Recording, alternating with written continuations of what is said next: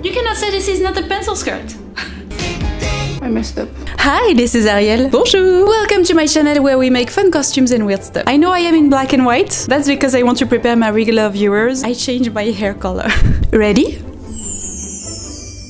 The quick story is that there was an internet outage for a day, so I was forced to go outside. Ugh. And I went into a hair salon to ask if they could do anything for my hair. And they said, Oh oui, bien sûr, ce sera 250 euros. and I was like, oh, okay. So I went in the supermarket instead and I got 15 euros for a basic hair dye and I did it myself. What do you think? Do we like it? I don't know. But I think it's fun. And also, Ariel, anyone? Anyways, so I was looking for inspiration for my next project and suddenly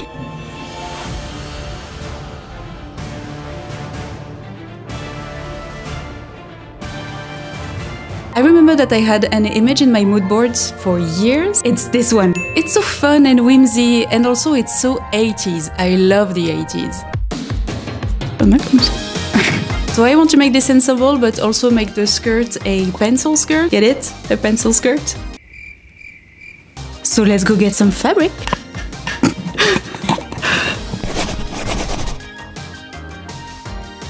I went to the fabric store and look what I found. This is made of actual wood. How perfect this is for a pencil outfit. This is very, very thin cork pieces that are glued to a canvas. It's light and flexible and also not very expensive. There were different kinds, some with colors, some with metallics and it looks a bit like pencil shavings that were glued to a fabric. So perfect. I'm going with the basic one.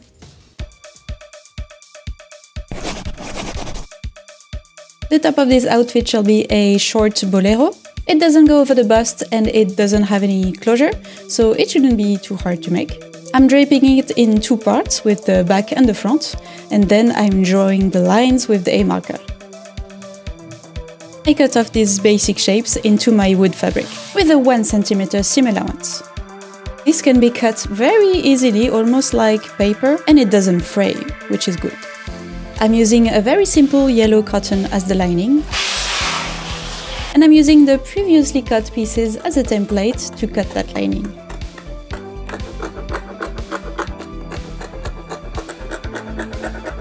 At the store, I also got a piece of yellow vinyl, which will be the painted part of the pencil. I would never recommend to make a full garment out of this uh, synthetic vinyl, but it works great for details. I just want the edges of the clothes to be covered in this. The back is assembled. This fabric is also very easy to sew. It does not move. Then I add more pieces of vinyl to cover all the edges. Securing all these edges with a temporary basting stitch.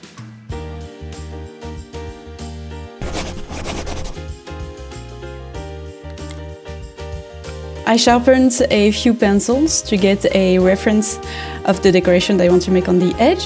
And I'm drawing this by hand, making them a little bit irregular and also pointy. This blue pen has ink that disappears with heat. That's a friction pen. I love those. The pins, they leave a mark in the yellow vinyl, but this part will be cut off. So I sew first the top line and cut the excess off. This fabric doesn't fray and is easy to cut but it's not easy to sew because it's kind of sticky. I'm also cutting off the excess of the wood fabric on the inside because I did some testing and with the two layers the edge doesn't end up very neat so I'm just cutting up the bulk here. I'm doing one piece at a time to make sure that the decoration matches at the side seams and the shoulder seams.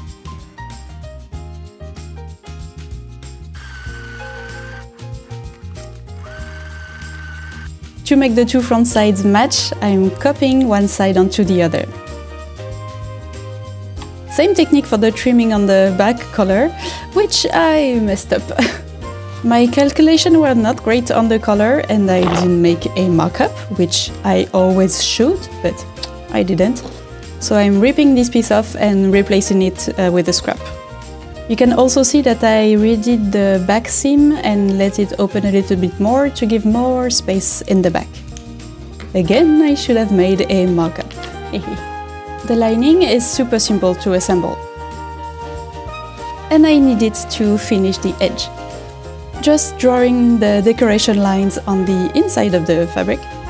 And with the lining pinned in place, I can follow these with the sewing machine.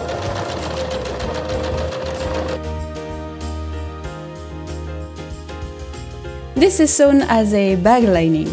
So before turning it inside out, I first need to cut off all the excess of this fabric. Otherwise, there is no way that all those edges will look sharp. We need to put little notches on all the curved edges and clip a million of those corners.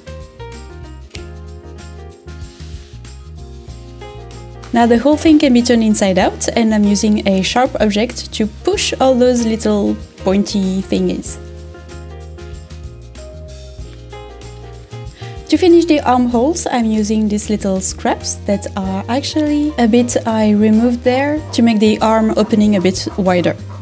And since I did not make a pattern, it's perfect to trace the facing. And it fits perfectly. I pin it right side against right side and sew it all around the armhole.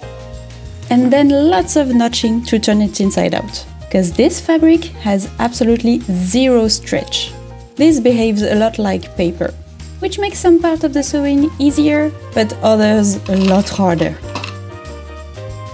Now I can cut the excess lining of those and put it inside out on my mannequin.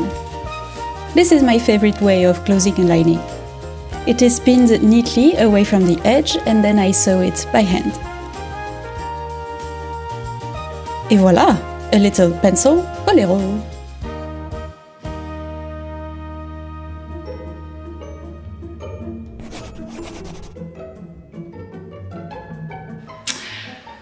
Wanted to make a pencil skirt, but this wood fabric, it behaves a little bit like paper and it does not look good at all if you crease it and you cannot iron it. I don't think it is a good idea to make a fitted garment in this fabric. I'm afraid it's going to be uncomfortable and ugly. Especially in the hips, if I walk or sit, it will get all crinkled. So the original image has a circle skirt, so I'm going to make one, but I will call it a pencil skirt. I mean, this is a pencil skirt. How is this not? You cannot say this is not a pencil skirt.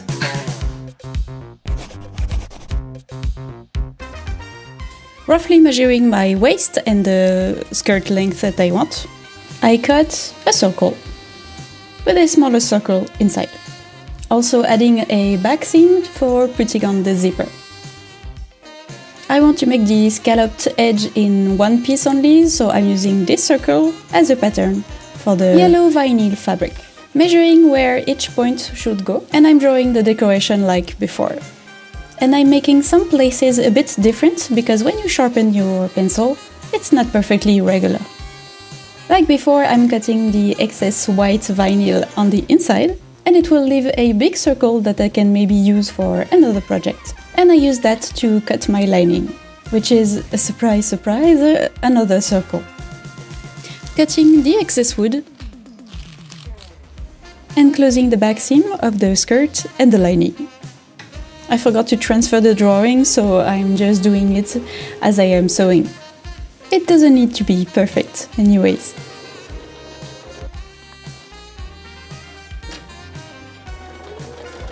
And now a million more scallops to cut.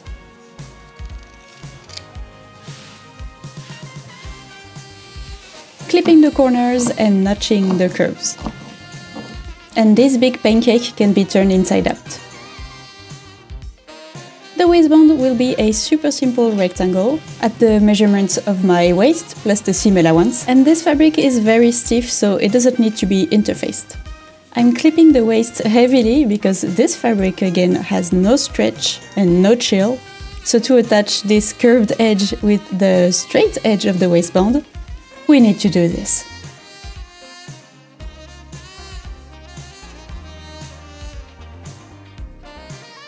I pin the zipper, the zipper, the zipper. I pin the zipper in the back and sew it down before opening the back seam. Then I pin the lining to it on the inside and sew it by hand.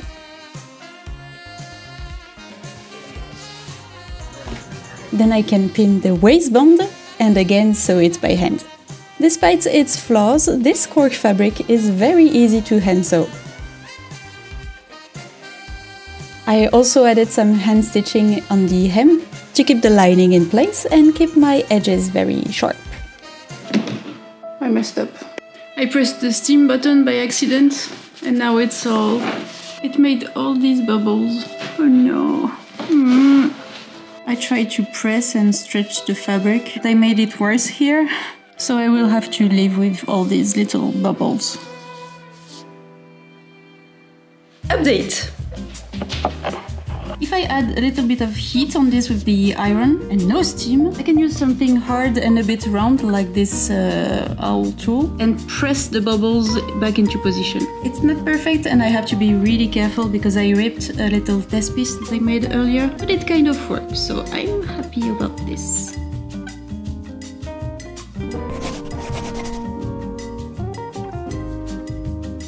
Add a little bit of flair to this outfit, I want to make a little accessory. Let's make some earrings. To turn this pencil into two pencils, I sew it in two parts. So, sew it, saw, saw it. Ugh, words. I don't know how to say that correctly. Sorry. Don't forget to clean that graphite powder. This will stain every light fabric I put on the table. Let's just drill a very small hole in those. Then I sharpen them so they are the same size. I think these earrings will be fun, so I want to actually wear them on a daily basis. So I will cover the ends in resin. That way it should protect the point from breaking and also staining my clothes. And yes, unfortunately, this will make the pencils unusable. Little wire through the hole. And I tried to add some matching beads, so it would look a little bit more like jewelry, but eh, eh, I don't like it, so I just keep it simple. And that will complete the outfit. But now that I think about it, Look how happy she looks with her bag. And I really love funny handbags. What do you think? Should I make this? Hmm, maybe. You can subscribe for more silly projects. This video is not sponsored, I just want to give a big shout out, a big hug to my Patreons on Patreon and also the channel members. I have a lot of plans this year to make better things for you, Thank you for allowing me all this, but also thank you to everyone watching. If I could, I would bring a warm croissant to you in the morning. You deserve it. And now it is time for the review. Today's theme is the late 80s and stationery, I guess. Allez,